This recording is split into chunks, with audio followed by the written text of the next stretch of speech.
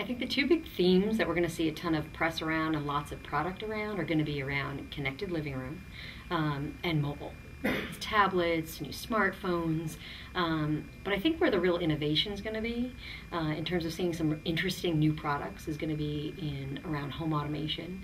Um, I think recently we've seen a ton of buzz with Nest thermostats, you know, selling out and so forth for the holiday season. But um, some of that automation, but also in-car entertainment.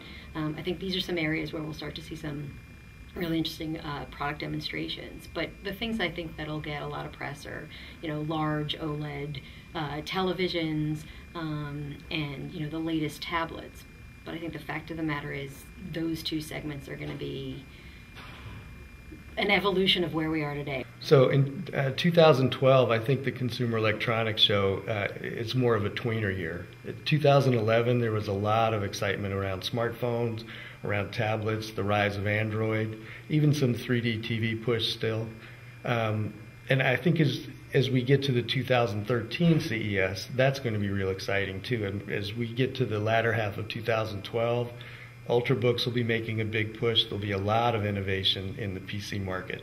So uh, I think again, the odd number years are, are, looking like they're the exciting ones. 2011 and uh, the next one, 2013. There'll be a lot to see and talk about. I think tablets are still going to be, without a doubt, you know, a big uh, product category at CES, no doubt about it. But the difference this year is there's going to be a lot of attention around not just Ultrabooks, but Win 8 um, and I think when we think about Win 8, whether it's on PC form factors or Win 8 tablets, um, I think that's going to be a huge buzz category.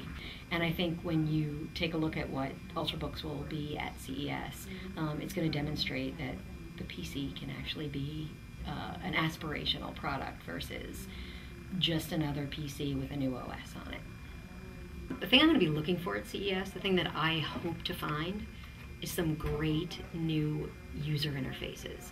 And what I mean by that is we're talking plenty about voice because of things like Siri. We're talking a lot about gesture because of things like Kinect. But I want to see where is UI and UX going? Where are these user experiences going?